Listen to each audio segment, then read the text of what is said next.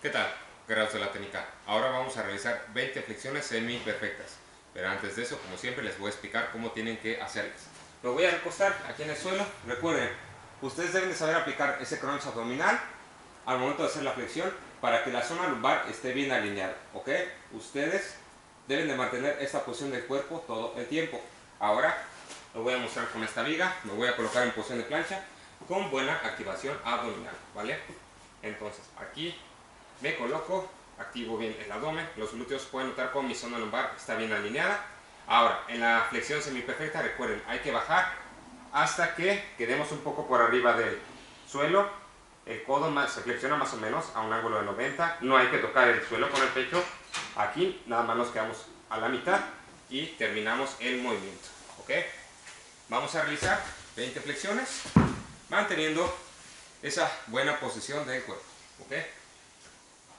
Dedos bien abiertos, haciendo buena presión al suelo, me coloco, buena posición de plancha, contracción de abdomen, de glúteos, buena tensión de piernas y empiezo. 1, 2, 3, 4, 5, 6, 7, 8, 9, 10, 11, 12, 13, 14, 15, 6, 17, 18, 19, 20. Recuerden, la técnica es primero y siempre traten de hacer las cosas lo mejor posible. Les pido y nos vemos después. Bye bye.